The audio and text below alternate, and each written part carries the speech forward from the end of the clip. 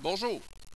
Dans cette capsule vidéo, nous verrons comment euh, appliquer les quatre opérations de base, donc l'addition, la multiplication, la soustraction et la division, avec la notation scientifique. Tout d'abord, commençons avec la multiplication et la division. Si je prends l'exemple qui est là, donc on a 3,2 euh, fois 10 à la 7, qui est une notation scientifique, on le met en parenthèse juste pour indiquer que c'était notre première, qu'on multiplie par 4,5 fois 10 à la 5. En fait, euh, ce qu'on se retrouve, on se retrouve avec une série de fois. Et la série de multiplication, étant donné que c'est commutatif, c'est-à-dire qu'on peut euh, inverser les termes les changer d'ordre comme on veut, parce que dans le fond, l'ordre n'est pas important lorsqu'on fait une série de fois, on pourrait, lorsqu'on fait de la multiplication, rebrasser nos nombres qui nous ferait quelque chose comme 3,2 que je multiplie, donc fois 4,5. Donc je mets mes deux mantisses les deux chiffres entre 1 et 10, je les place devant. Ensuite, multiplier par 10 à la 7, que je multiplie par 10 à la 5. Et un coup que ça c'est fait, il y a des choses qui sont facilement regroupables. Par exemple, 3,2, si je le multiplie par 4,5. 3,2 euh, multiplié par 4,5 euh, me donne 13,4. Donc, j'arrive à 13,4. Ensuite, j'ai mon fois qui est ici. Et 10 à la 7 fois 10 à la 5, nos lois d'exposant nous disent que lorsqu'on a la même base, donc base 10 avec base 10, qu'on effectue une multiplication, on a juste à additionner nos exposants. Donc ça, c'est la loi numéro 1 qu'on a vue, ce qui nous fait 10 à la 12. Un coup que j'ai ça, ben maintenant, il me resterait juste à transformer ma réponse en notation scientifique on est très près de la notation scientifique. Par contre, notre nombre qu'on a ici, notre mantis, n'est pas un chiffre entre 1 et 10. Donc, pour la modifier, pour la mettre entre 1 et 10, ça me prendrait 1,34. Donc là, j'ai mon nombre entre 1 et 10, fois 10. Et en fait, ici, ce que j'ai fait, si je viens de diminuer ma mantis en la divisant par 10, donc je viens de, euh, je viens de la diminuer par un facteur de 10, ben, je dois obligatoirement augmenter mon exposant de 1. Donc, ce qui me ferait fois 10 à la donc, je viens de, faire un exemple de multiplication. La division, beaucoup plus pratique, au lieu de l'écrire un à côté de l'autre, dans le fond, ma première division divisée par ma première notation scientifique divisée par la deuxième, ce que je vais faire, je vais l'écrire sous forme de fraction. Donc, je me retrouve avec 6,4 fois 10 à la 12 que je veux diviser par 1,6 fois 10 à la moins 3. Et en fait, ce que je vais faire, lorsque je suis en division, j'ai simplement à diviser mes mantis ensemble diviser mes puissances de 10 ensemble et ça va me donner ma réponse. Donc, j'ai des lois pour faire ça. D'abord, 6,4, si je le divise par 1,6, ça nous donne 4.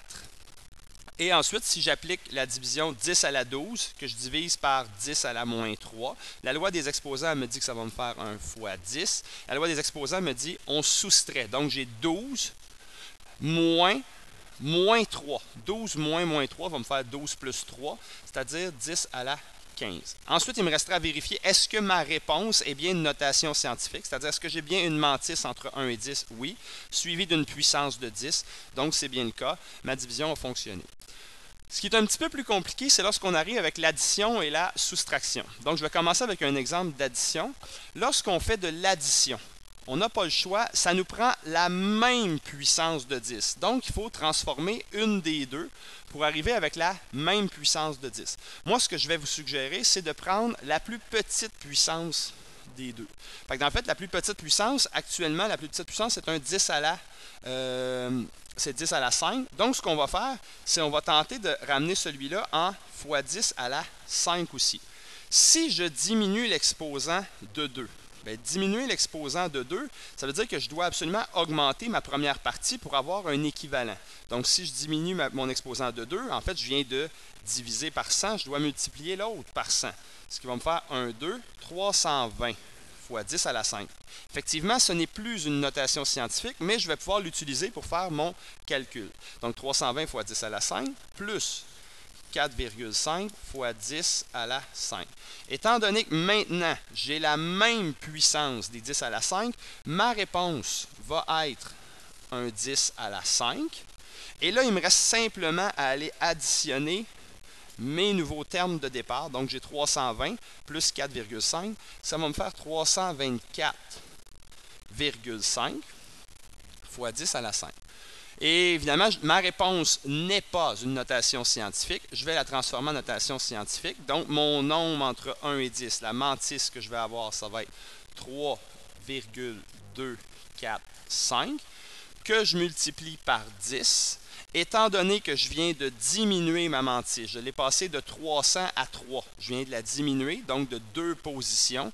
Bien, si je viens de la diminuer de deux positions, je dois augmenter mon exposant de 2, ce qui va me faire 3,245 fois 10 à la 7, et c'est ma réponse pour mon, addition. Euh, celui qui est juste en bas, donc c'est une soustraction. C'est la même chose, ça me prend la même puissance pour pouvoir travailler. C'est un peu comme des fractions où on travaille avec des dénominateurs communs, mais là ici on travaille avec des puissances communes pour pouvoir faire nos soustractions ou nos additions. Euh, dans le fond, ici, on va prendre encore une fois l'exposant le plus petit, donc la puissance la plus petite. C'est-à-dire que le 1,6 fois 10 à la 8, on va le garder comme celui-là. Et ici, on va essayer de transformer ça en fois 10 à la 8. Vous remarquez que je viens de diminuer celle-là. Donc, si je viens de la diminuer de 1, mon exposant, je dois nécessairement augmenter de une position. Ma mantis, elle devient 64.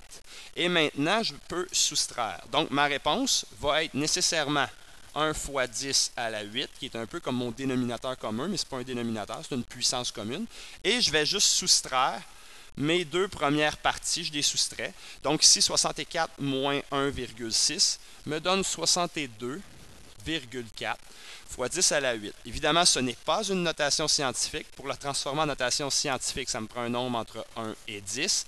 Je tasse ma virgule, donc ça me fait 6,24. Comme je viens de diminuer pour avoir mon 6,24, nécessairement ma partie exponentielle, ma partie où il y a l'exposant, doit être augmentée de une position, ce qui me fait x 10 à la 9, et j'ai ma réponse pour ma division.